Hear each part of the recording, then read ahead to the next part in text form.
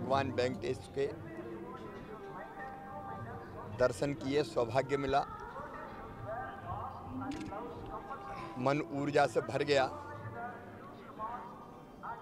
और उनके चरणों में यही प्रार्थना की, हमारे प्रधानमंत्री श्रीमान नरेंद्र मोदी जी ने संकल्प लिया है आत्मनिर्भर भारत के निर्माण का। आत्मनिर्भर भारत के लिए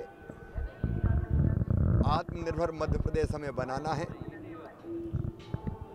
जनता के सबके सहयोग से भगवान के चरणों में यही प्रार्थना की कि इतनी शक्ति, इतनी ऊर्जा,